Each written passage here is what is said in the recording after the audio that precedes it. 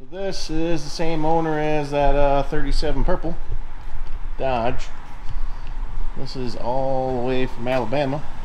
That's why you can actually not see things that are poking through. So, just a nice, all original truck that you don't really see a lot of anymore. This is a single cab short box, and being a 91, it's fairly rare because look how nice that door opens. It's actually a factory four-speed truck, granny four-speed. So 318, power windows, power locks, power mirrors, AC that does work. And I don't remember if it has cruise. It does not have cruise. The only thing it doesn't have is cruise. Factory original radio works. And nice bench seat, carpet. Everything works on this truck. And it's very nice.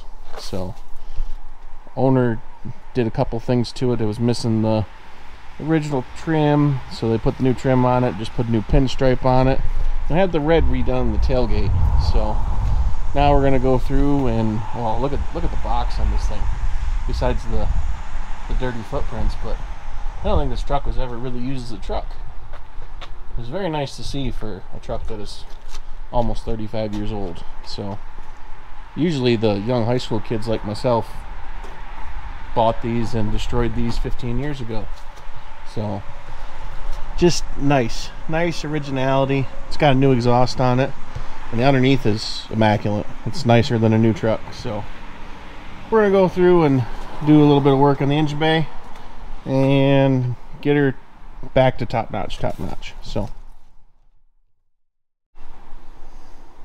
All right, well, back in the old power barn, you can see it's just a nice, original, untouched Survivor.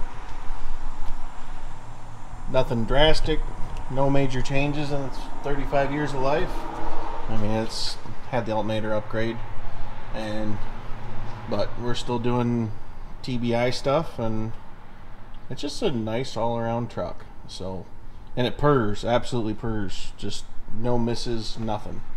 The 43,000 original miles has been a wonderful 43,000 original miles. So, um, so we're gonna start. Needs a full tune-up. We got some valve cover leakage that needs to be taken care of. So, get the valve covers off. Take a peek on under the valve covers. I'm guessing we're gonna have minimal to no sludge buildup, and go from there. So, we'll get back to this. All right, guys, we're back on the old short box. Um, plugs, wires, valve cover gaskets. Painted the valve covers back to their original flat black. Got everything reassembled. Had went around and it always bugs me when the white is missing off stuff. So I went through and touched up all the white on the like the engine engine fill over there and did all that stuff and made sure all the fluids were good. And everything looks pretty pretty happy. So should be able to uh, breathe on the key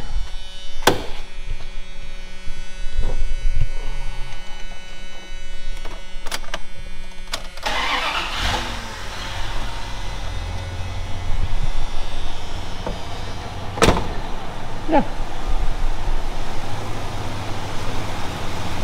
just a good run running 318. So, yeah, just a quick, simple job. And uh, on a really, really nice truck. Wish, uh, wish they were all this clean still.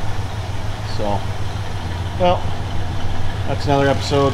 Dutch Guy's Garage. Short, sweet, but it's a beautiful truck. So, and I'm gonna go wash my hands and change my clothes so we can take it back to the owner. So, see you guys in the next one. Always remember, they don't move until you do.